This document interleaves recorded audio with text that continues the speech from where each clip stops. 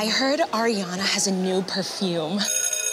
I heard she sings to a rose garden every day. They get like a private concert. Well, I heard she swam with actual mermaids in the Bermuda Triangle. And convinced him to give her the velvety musk of their new sea god. We heard how she went to space to find the best pears for her little fragrance. She should have just came to come. Are you sure it was pear? Because I heard it was coconut. Supposedly she uses juicy raspberries in it, so I've only been eating juicy raspberries for months so that my breast milk will taste like her perfume smells. Honestly, I'm not the biggest Ariana Grande fan, but I do hear the new fragrance is somewhat promising. Rumor has it, she put part of her ponytail in it. Shh. Thank you.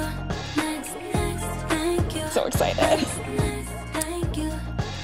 I'm so fucking grateful.